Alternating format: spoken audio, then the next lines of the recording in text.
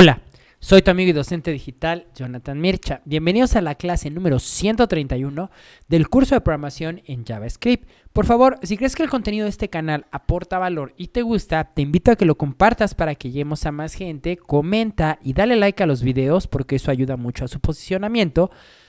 Y no olvides suscribirte al canal y activar todas las notificaciones para que no te pierdas alerta de nuevo contenido. Recuerda que estamos en las clases donde estamos haciendo ejercicios de Ajax y APIs. Y en esta ocasión estamos en una miniserie de eh, cuatro videos donde te estoy enseñando a manipular y a interactuar con el API de la pasarela de pagos Stripe.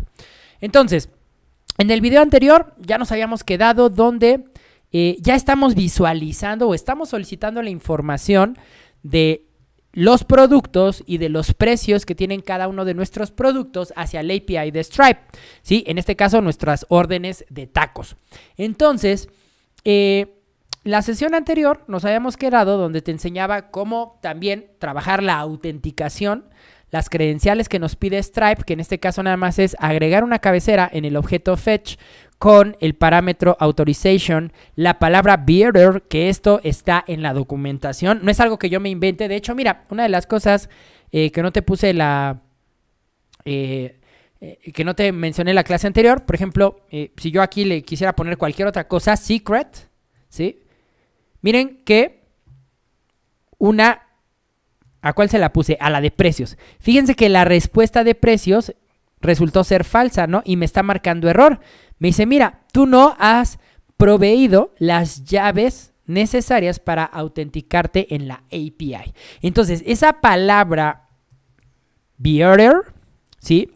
Espacio y la llave secreta que nos proporciona Stripe es lo que necesitamos. Miren que cuando ya lo corrijo, valida a true la respuesta de la petición. Ahora, ¿de dónde me inventé esto? Yo no me lo inventé. Recuerda, por eso en la descripción de todos estos videos te estoy los dejando los enlaces importantes que estamos viendo en estos tutoriales, ¿sí? Y aquí, mira, en la zona de Authentication, aquí nos está diciendo la documentación de Stripe.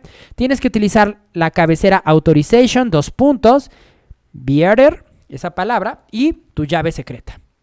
¿Sí? Muy bien.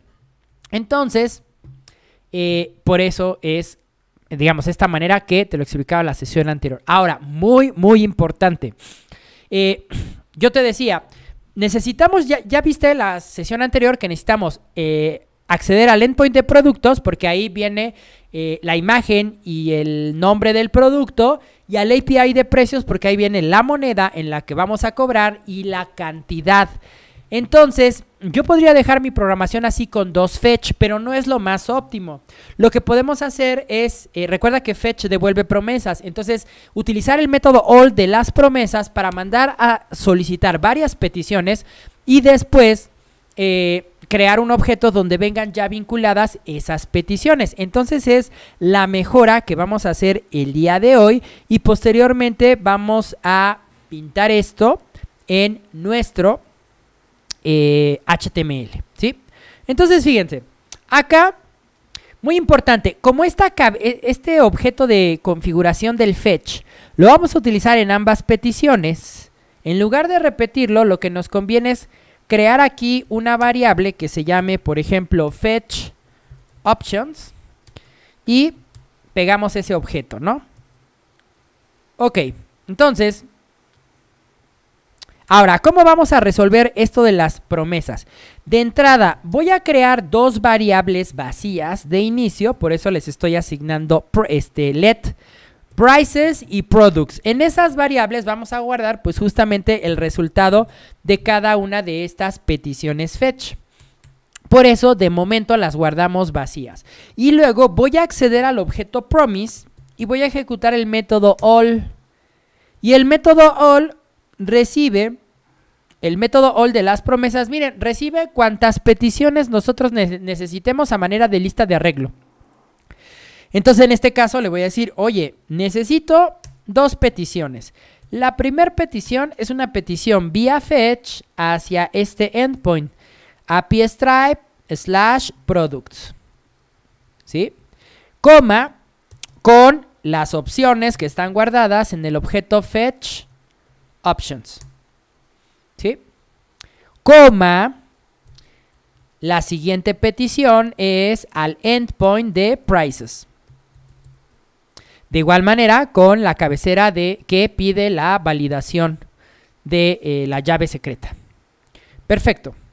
Entonces, fíjense, ya no necesitamos estas dos invocaciones que hicimos acá, porque ahorita justamente vamos a resolver este método promiseAll va a esperar a que le respondan cada una de las de los endpoints y cuando le responda, pues miren, vamos a ejecutar un método den. En este método den nosotros estamos esperando recibir la respuesta, pero no solo una respuesta, sino todas las respuestas. Entonces vamos a ponerla como en plural, responses. Y entonces le vamos a decir, ok, cuando tengas todas las respuestas, ¿sí? ¿De quién esperamos recibir todas las respuestas? Pues de ese promise.all.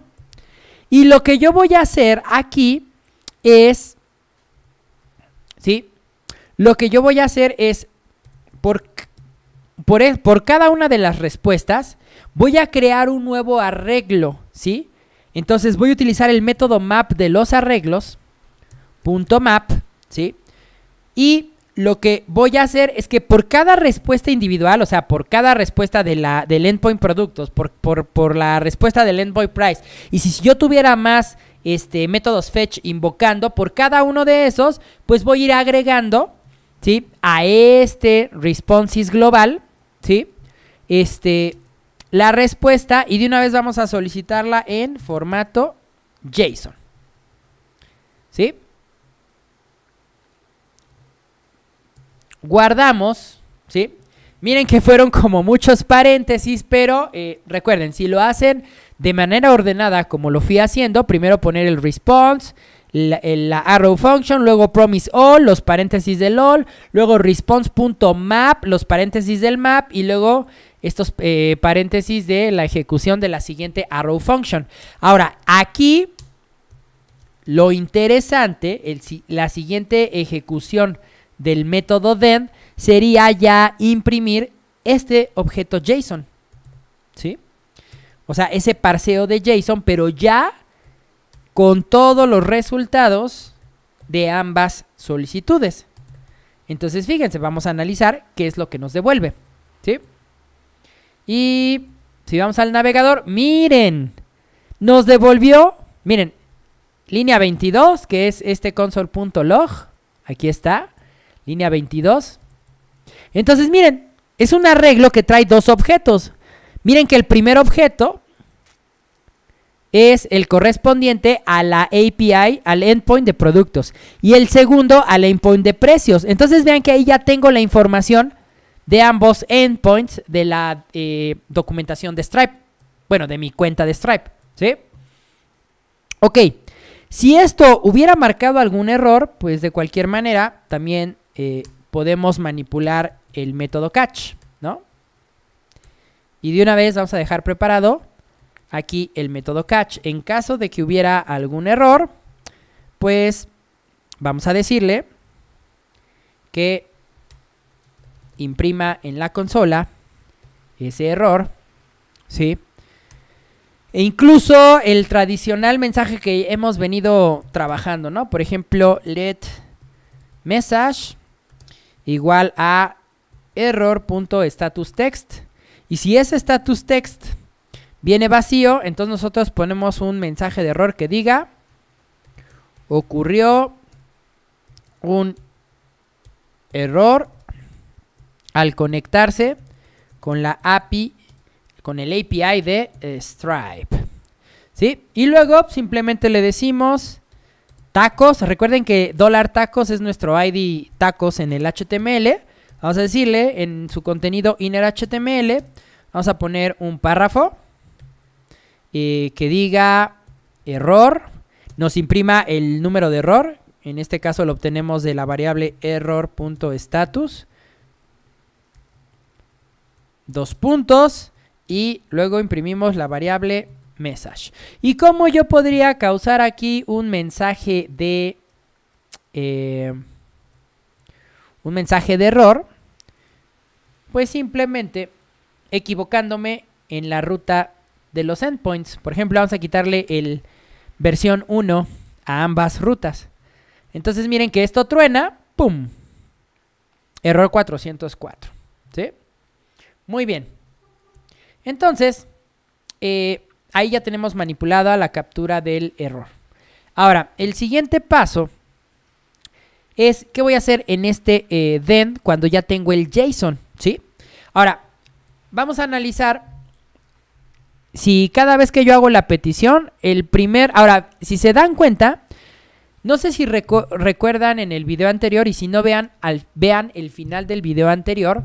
Eh, cuando yo copié y pegué el mismo código del fetch independiente para acceder al API de productos, al API de precios, ¿sí? Eh, el, API de precios responde más rápido que el API de productos, o al menos eso fue lo que eh, yo vi en el video, en el, bueno, veíamos en el video anterior, ¿sí? Sin embargo, Acá no importa, ¿sí? El orden en el que nosotros invoquemos nuestras peticiones. Es el orden en el que nos va guardando en este arreglo. Por ejemplo, vean que aquí la primera petición que tiene el promise all es la de productos. Y vean que el, el, digamos, el objeto que guarda la información de esa fetch es la posición 0 de mi arreglo. Aquí está, el endpoint productos la segunda petición fue la de precios. El segundo es la de precios. Vean que si yo recargo, aquí no es una cuestión de cuál tarde en responder más. Digamos que aquí esa es otra ventaja de utilizar el promisol, que en el orden que nosotros hayamos definido esas invocaciones, no importa si, si responden a diferentes tiempos, e incluso si la última respondiera más rápido que la otra, va a respetar ese orden a la hora de que nosotros hacemos acá el map y generamos un nuevo arreglo de todas esas respuestas. Y se los voy a comprobar porque miren, si yo invirtiera, por ejemplo, vean que ahora el primero, eh, la primera invocación fetches prices y la segunda productos, vean que en el resultado ahora, miren, la posición 0 es prices y la posición 1 es products, ¿sí? Entonces, muy importante, este orden el orden en que nosotros vayamos definiendo en el promise all las peticiones fetch es en el orden en que se van a ir mapeando las respuestas correspondientes. Entonces, basado en eso, estarán de acuerdo que en la posición 0 de este objeto, que es la variable JSON que tengo en mi, en mi then, ¿sí?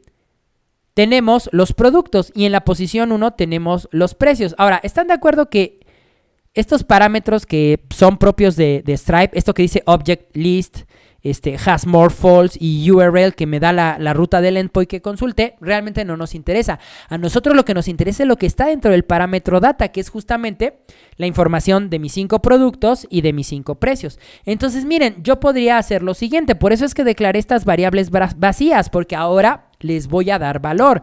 Le voy a decir, ok, en la variable products, y de hecho, miren, vamos a declararlas también en el orden que las estoy utilizando, ¿no? Primero productos, coma, luego precios.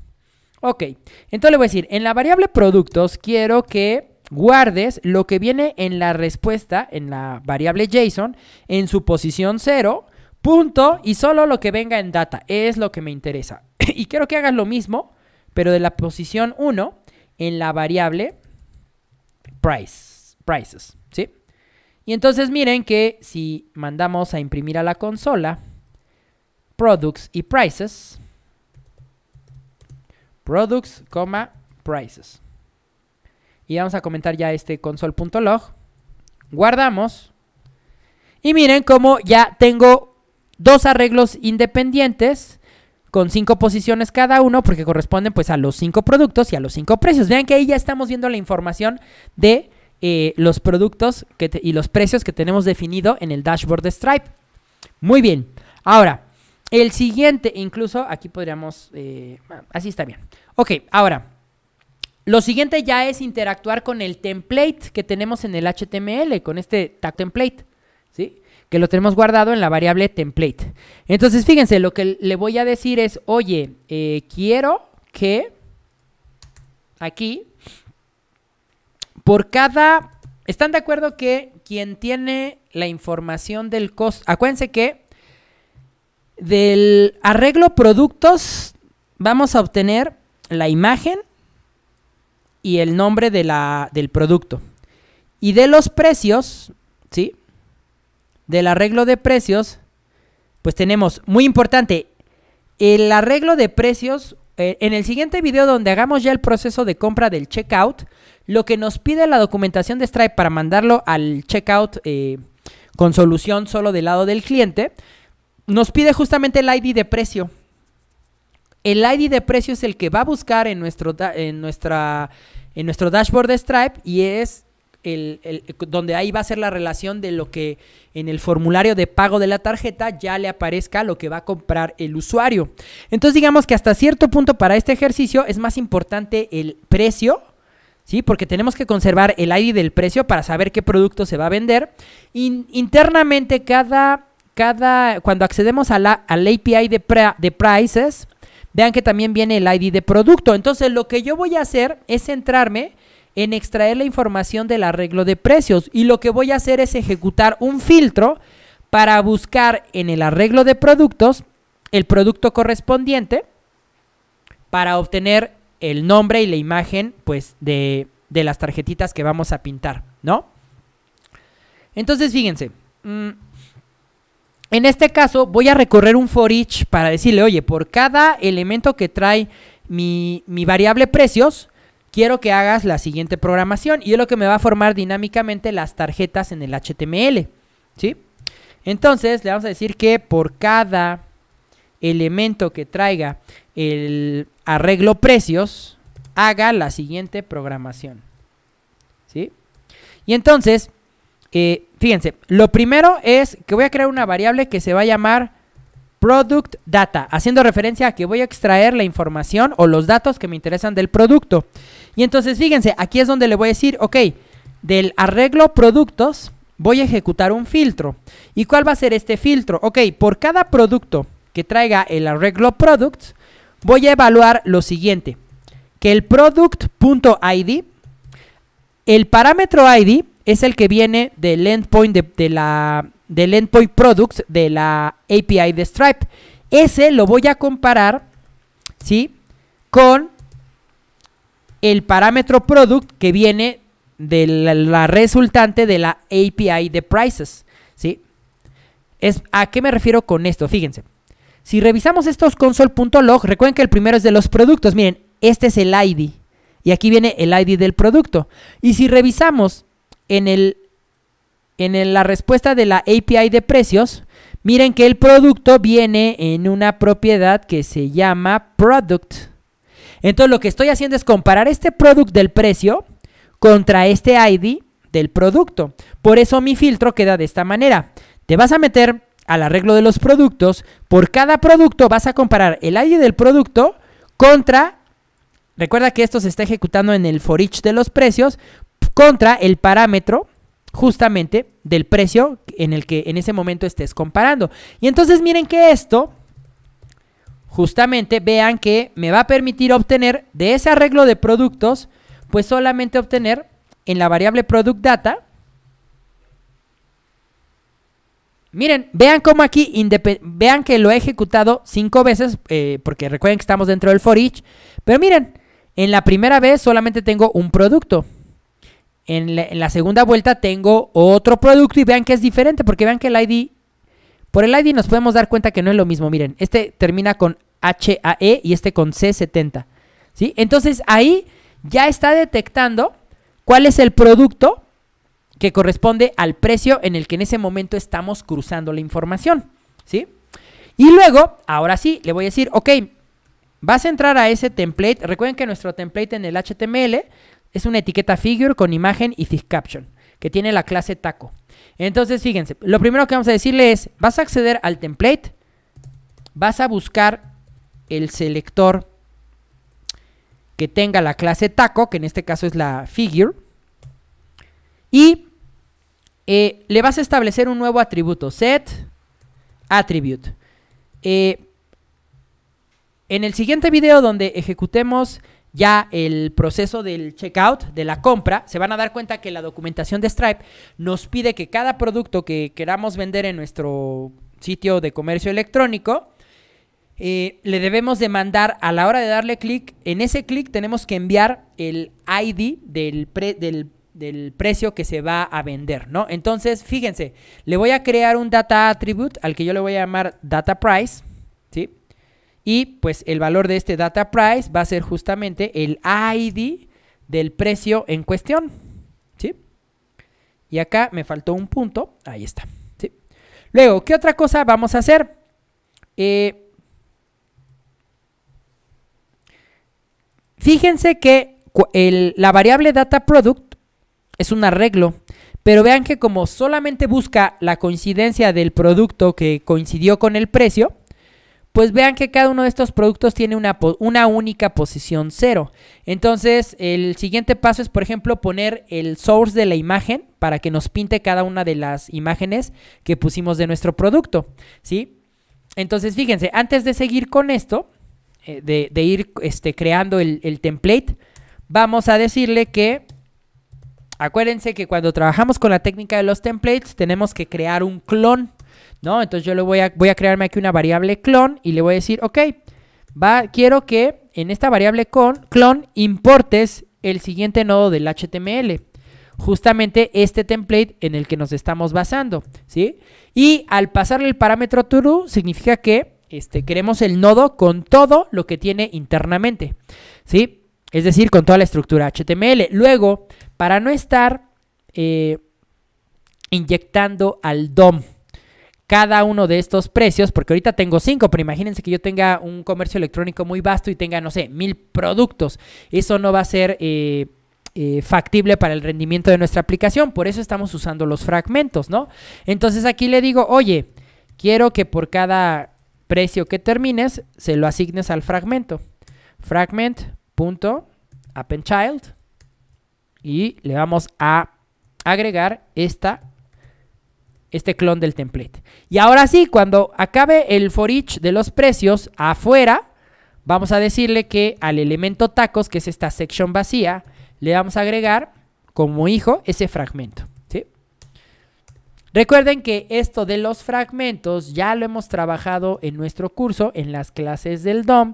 Eh, para los que sean nuevos o estén llegando por este video al canal, ahorita les digo qué clase es donde vemos los fragmentos.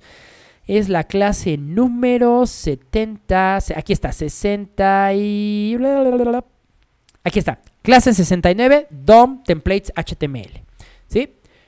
Y si ustedes ya han seguido los cursos, pues ya sabrán todo esto. Perfecto. Entonces, fíjense, ahí, eh, ahí aquí, como este elemento es un nodo del DOM, se me, me faltó el dólar.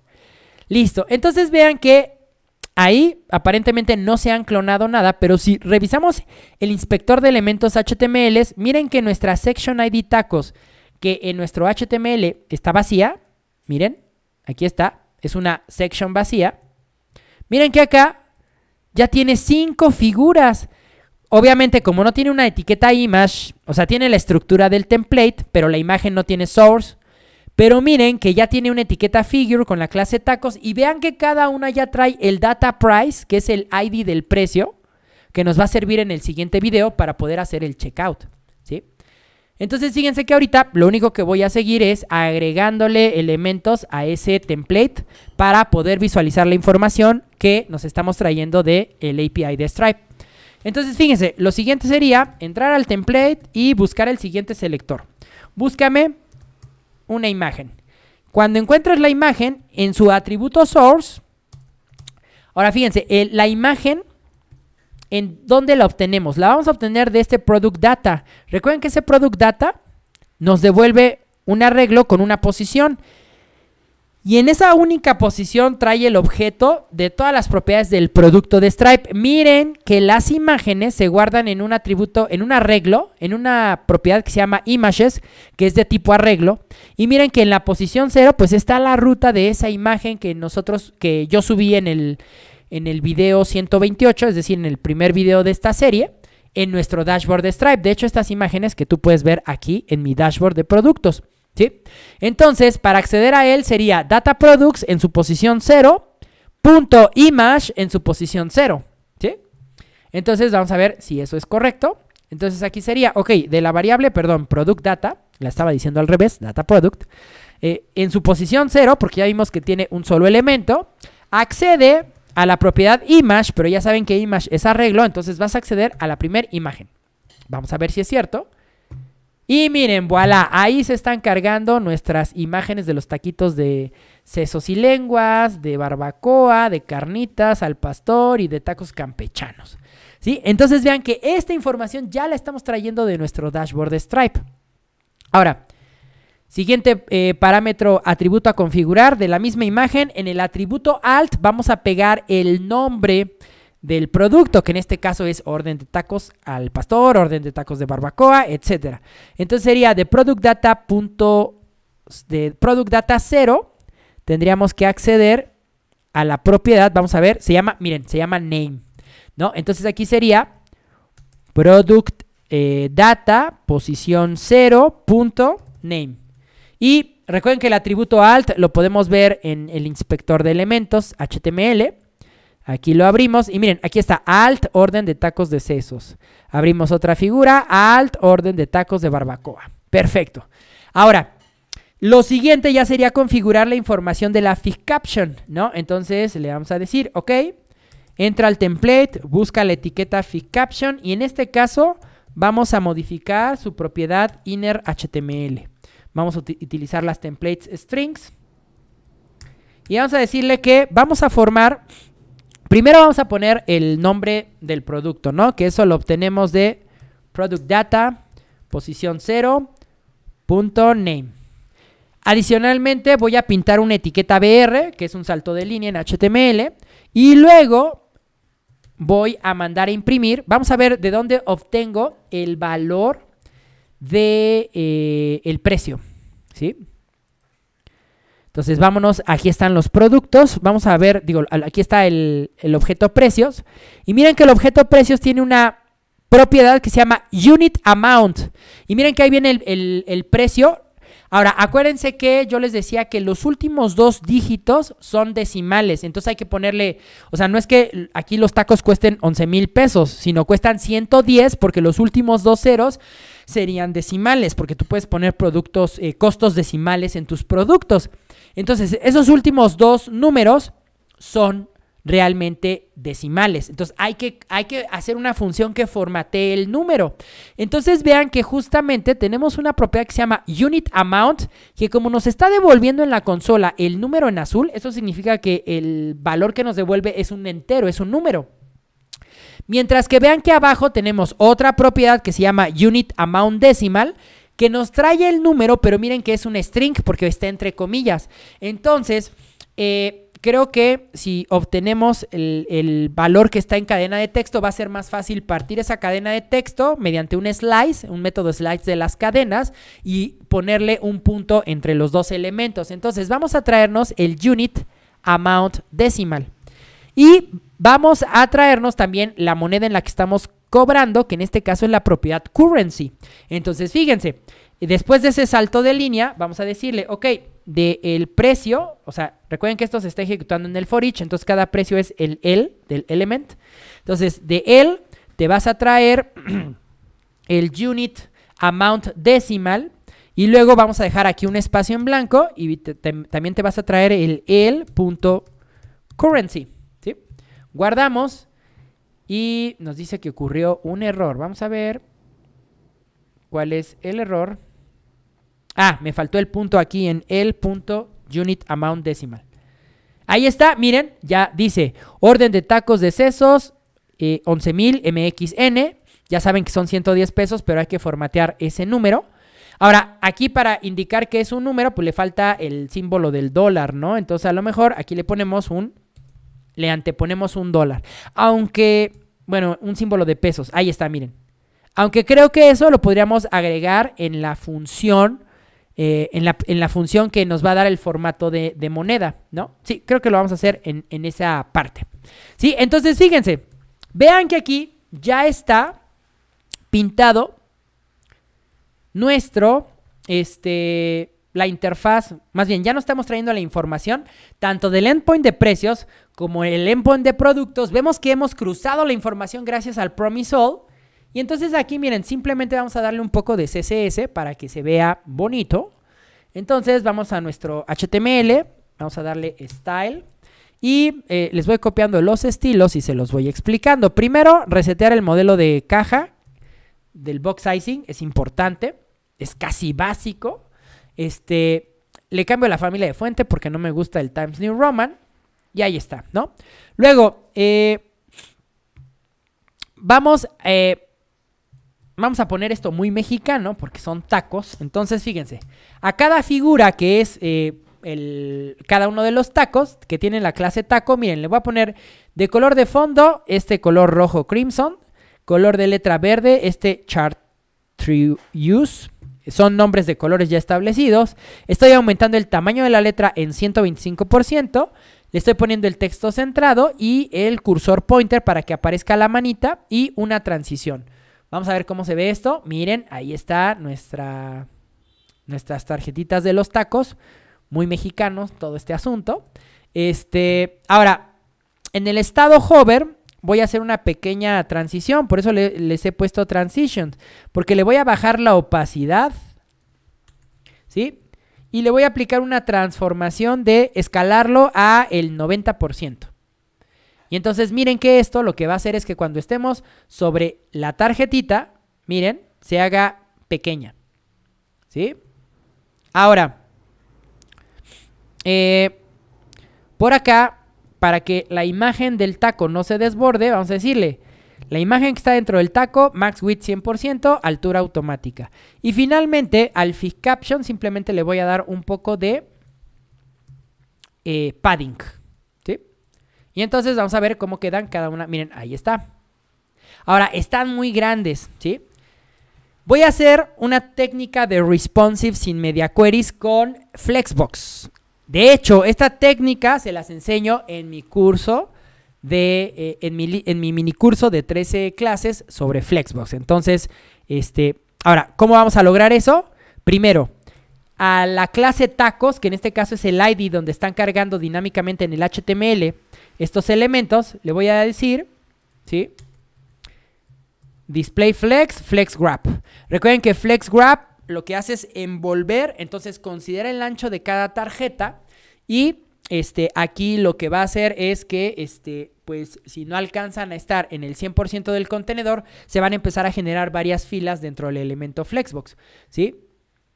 Entonces, miren que ahí más o menos ya se tienen un, mejor tamaño.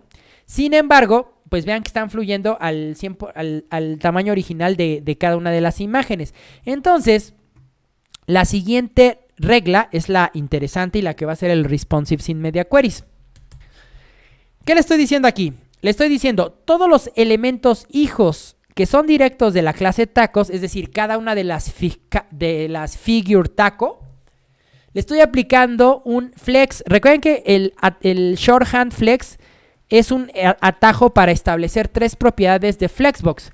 El factor de crecimiento, le estoy diciendo, si puedes, crece. El factor de reducción, si puedes, también tienes la capacidad de reducir. Y el tercer valor, que sería el flex basis, el tamaño del, elemento item.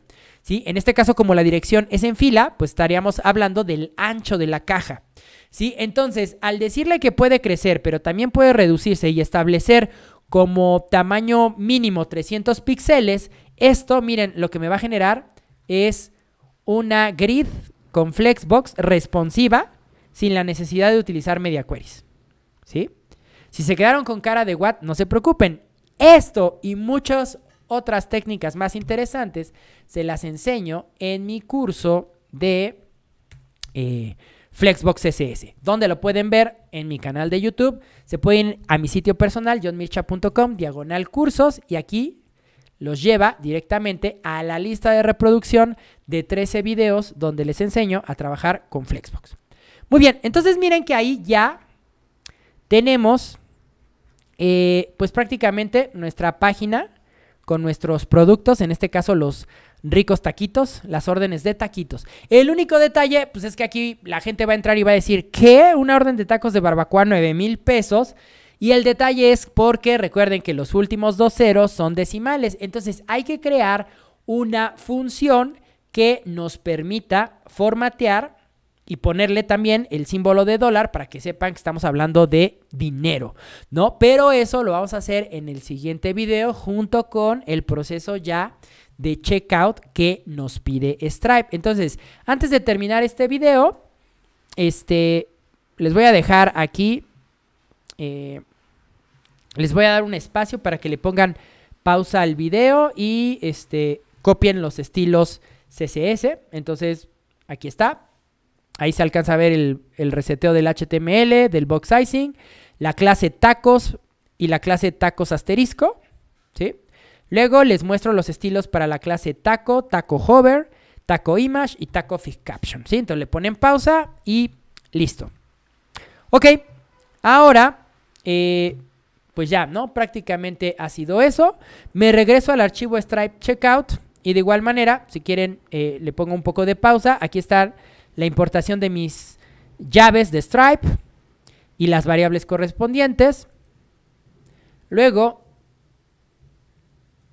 miren, ahí está el Promise All ejecutando las dos peticiones fetch a la API de productos, al endpoint de price, perdón. Endpoint, no, API es toda. Este, aquí eh, el mapeo de las respuestas el método DENT, que es donde programamos todo lo que ya nos muestra en el DOM. Ahorita se los abro. Y finalmente el catch para manipular el error. ¿Sí? Ahí está. Póngale pausa. Y finalmente, ahora sí, les abro el DEN, donde estuvimos programando. Y voy a aprovechar para comentar los console logs que pues ya no necesitamos.